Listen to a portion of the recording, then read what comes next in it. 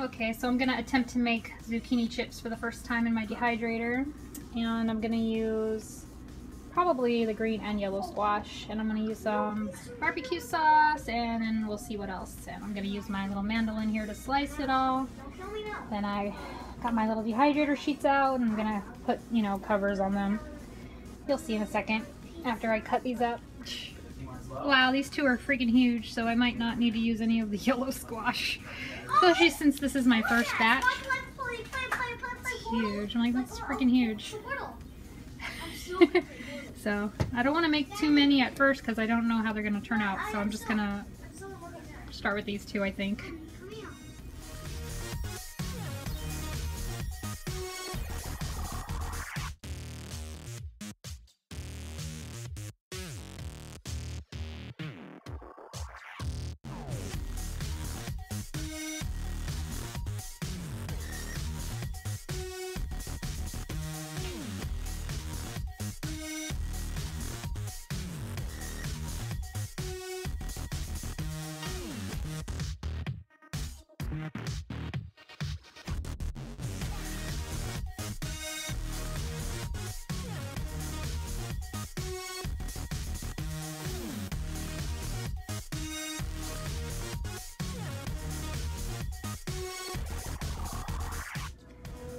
Alright, so I've got this of the two zucchinis. I did um, a fourth of an inch on one of them and then 3 16th of an inch on the second one and that one was a lot easier to slice than the fourth of an inch one.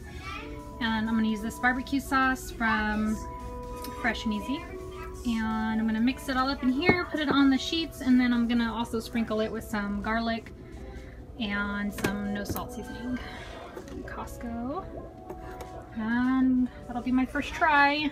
We'll see how they turn out. I didn't measure, I just poured some on top and I'm gonna mix it with a spoon. Alright, so this is a lot easier if you mix it with your hands. and now I'm gonna lay them out on here. All the sizes are mixed up, so it'll be both sizes on each tray. I don't know how many is in here. I don't know how many trays it'll take. But I think the book said four hours, dehydrate them for four hours, so I'll be able to check on them later today and then leave them in there for longer if they need it.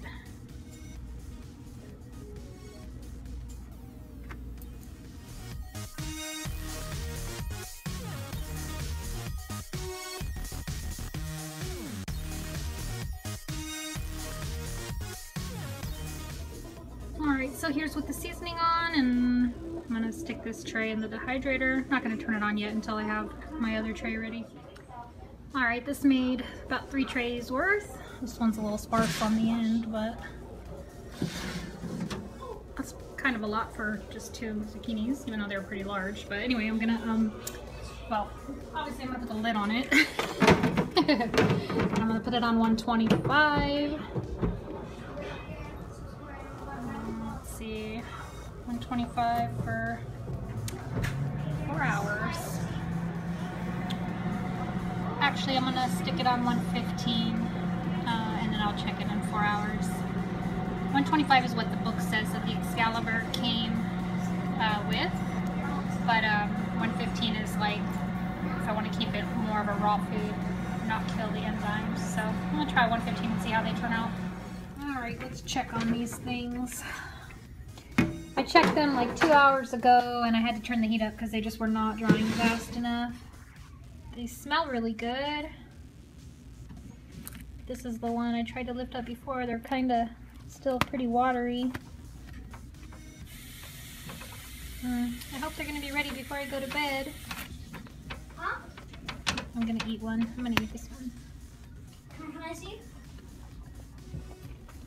Ooh, well, they taste good. But they taste like a fruit roll up. Or not like taste, but they have a texture of a fruit roll up. They, they look good. They taste really good. I hope that they dry into chips before bedtime. Alright, these are taking forever, so I had turned them up to 145 degrees.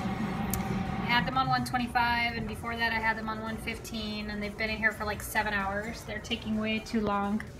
I don't know if it's because I cut them too thick or because of the barbecue sauce or because I was trying to keep them raw at first and leaving it at 115 degrees. It's just taking way too long. Oh, this is really hot. I'm hoping that they're done because I need to go to bed soon and I don't want to leave them in here overnight.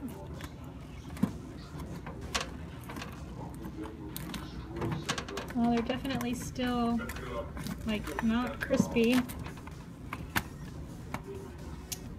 Dang, if I should turn them all over. It's taking too long, you guys. I never can seem to dehydrate things properly. but they are good. Very tasty. Dang. I just realized it's probably because I stuck them on this sheet instead of the um, like plastic one that the air can flow through. I think that's where I made my mistake. If I dehydrate these for any longer, they're just gonna disappear. So I think I'm just gonna leave them as little chewy, almost like fruit snacks, savory fruit snacks. Because yeah, they taste really good. But they're pretty much just gonna disappear to nothing if I keep dehydrating them.